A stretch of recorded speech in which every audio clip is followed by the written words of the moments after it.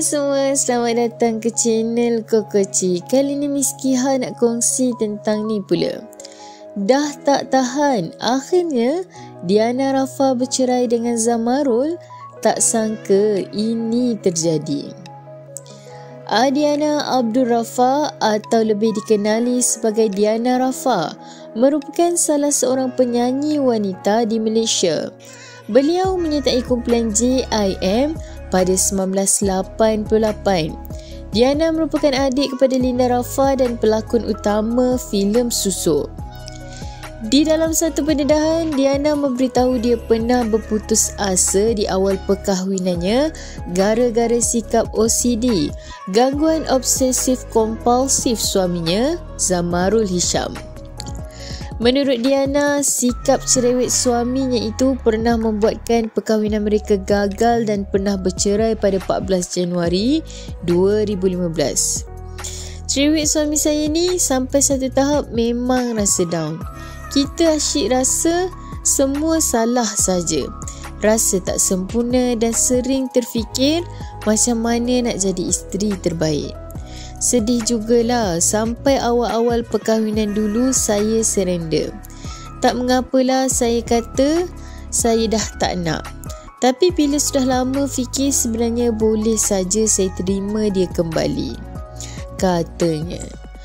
Diana juga menasihati isteri di luar sana agar bertabah jika dikurniakan suami yang mempunyai sikap yang sama seperti Zamarul. Selepas berkahwin semula, pelakon Diana Rafa berkata perhubungannya dengan suami semakin romantik. Lebih-lebih lagi selepas melalui ujian bercerai pada awal Januari 2015. Alhamdulillah, kami lebih romantik.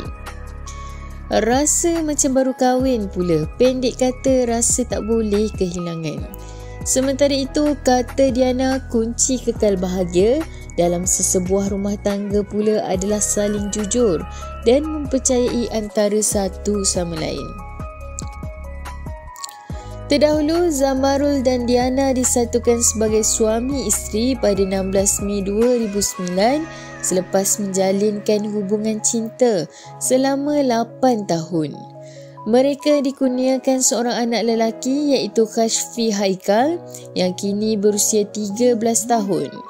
Bagaimanapun pasangan itu mengejutkan para peminat apabila mengakui sudah bercerai talak satu pada 14 Januari 2015 lalu sebelum mengambil keputusan untuk bernikah semula.